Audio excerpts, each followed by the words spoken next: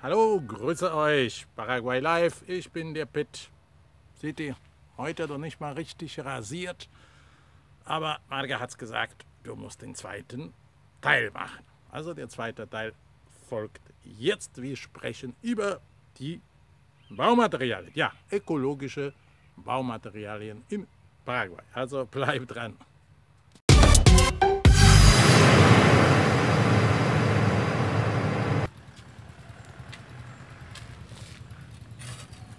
Seht ihr? Ganz einfach. Später fragen wir auch die Preise, kein Problem. Hier seht ihr auch andere Steine.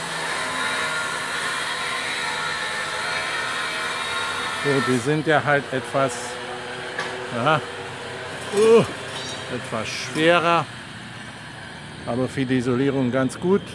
Also reine Keramik.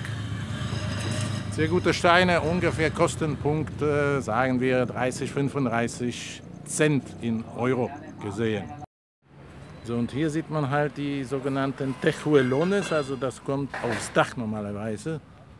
Seht ihr, ist auch Keramik, also da sind ungefähr auch 30, 35 Cent das Stück. So, und hier kommen auch die praktisch Dachziegel. Alles Keramik, also richtig ökologische Bauweise. Und vor allem für sehr, sehr lange Zeit.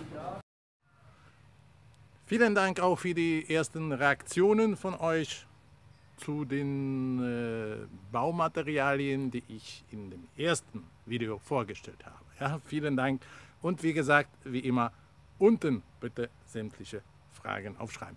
Grundsätzlich dazu äh, ist Folgendes zu sagen, in so kleineren Städten ja, gibt es also keine Baulager, die wirklich groß sind. Ja? Also man kann es bestellen und es wird ja auch in der Regel geliefert. Ähm, zum Beispiel Stallmatten kann man komplett vergessen, da wird ihr auch in dem Video sehen, dass es alles per Hand praktisch einzeln gemacht wird. Ja? In den großen Städten, sagen wir Asunción oder Ciudad del Este, auch in dem Großraum grundsätzlich Asunción gibt es natürlich sowas. Ähm, das gleiche betrifft äh, die Betonlieferung. Ja? Also die Riesenwagen könnt ihr vergessen. Das lohnt sich, wenn man natürlich, was weiß ich, mehrstöckige Bauweise hier verrichtet, wie zum Beispiel in, in Asunción und in anderen Großstädten, aber sicherlich nicht bei äh, so kleinen Einfamilienhäusern. Ja? Es lohnt sich auch kaum, weil hier einfach die Bodenplatte in sich nicht gegossen wird. also da wird ganz anders gearbeitet, deshalb ist es auch viel, viel preiswerter, wenn natürlich der Sackzement, sagen wir jetzt bei 10 Euro liegt, ne, könnt euch ungefähr vorstellen, kreuzbewehrte Bodenplatte, ja, einmal vielleicht so 24 cm, so in der Richtung, was das alles kosten würde. Das macht hier keiner. Ja? Also in dem Sinne, schaut euch das bitte an. So, und hier haben wir das Eisen, also das ist, das wird praktisch pro Stück, also sage ich mal jetzt auf Meter, letztendlich verkauft. Das sind 12 äh, Meter, sollten es haben und kosten je nach Größe ungefähr 9 bis 10 Euro ein Stück. Das benutzt man natürlich für die Fundamente. Also hier bei uns in den kleinen Städten gibt es kaum diese Eisenmatten praktisch, die man, die man unten legt. Ja, also es wird mehr oder weniger alles per Hand gemacht. Und hier wird gerade auch an so einer kleinen Überdachung gearbeitet. Sieht auch top aus.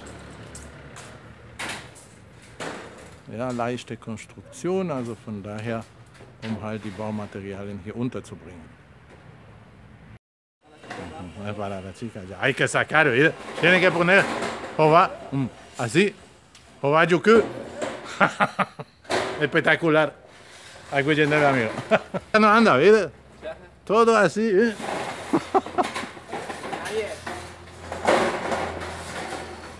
Also so läuft das, wenn es heiß ist, da muss... Also so schützt man sich vor Hitze. So, und hier natürlich noch die Utensilien. Terere darf natürlich nicht fehlen. Seht es? Ja? Und was natürlich super ist, schaut euch mal diesen Hammer hier an. Äh? Sieht ja nicht toll aus. Guck mal, also da geht nicht kaputt. Hm? Seht ihr, so funktioniert hier das Arbeiten. Ja? So, und hier noch ein anderer. Siehst du? So läuft das. Super einfach und super praktisch. Ja, und wie gesagt, terere.